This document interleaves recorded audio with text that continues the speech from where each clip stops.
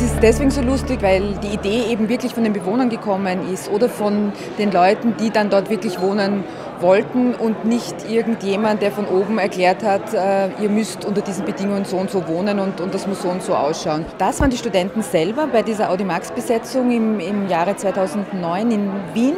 Äh, da ist es zu Kontakt mit Obdachlosen gekommen, die natürlich auch in, die, in, in das besetzte Audimax in der Nacht eingedrungen sind und dort zu übernachten. Da haben sich Freundschaften entwickelt, die dazu geführt haben, dass die Studenten gemeint hatten, na gut, jetzt haben wir drei Monate wirklich gut zusammengearbeitet und äh, wir wir wollen auch weiterhin irgendwie was mit den Obdachlosen tun.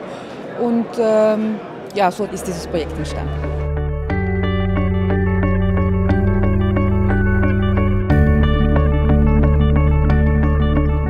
Das Haus ist ein Biedermeier-Haus. Ähm, es ist dreigeschossig gewesen. Das Dachgeschoss konnten wir abbauen und die Materialien, die im Dachgeschoss freigelegt waren, das waren Dachbalken, das waren Ziegel und so weiter, konnten wir in anderen Räumlichkeiten wieder verwenden. Also aus den Dachbalken wurde die Bar zum Beispiel, die Ziegel wurden Bodenbelege und Obstkisten, die zu Wandverkleidungen wurden.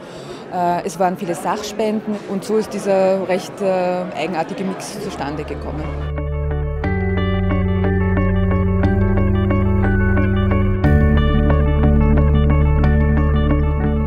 Leute sind erst im äh, Mai letzten Jahres eingezogen. Das heißt, sie haben den Sommer jetzt hinter sich und auch den Winter. Der Sommer war fabelhaft, weil sie gemeint haben, sie haben wirklich ihre, also die, die meiste Zeit im Freien verbracht, entweder auf diesen Laubengängen oder diesen vorgelagerten Terrassen oder eben auf, auf dem Dach. Äh, jetzt im Winter müssen sie sich natürlich in ihre ähm, Räumlichkeiten wieder zurückziehen, aber auch da gibt es ja gemeinschaftliche große Räume, wo sie sich treffen können. Sie können immer unten ins Lokal ausweichen, das offen ist, wo es keinen Konsumzwang gibt. Also man kann sich auch unten nur im Lokal mit Freunden treffen. Man muss nicht in seinem Zimmer bleiben oder in dem Wohnzimmer der WG, sondern es gibt viele Möglichkeiten, sich in diesem Haus zu bewegen.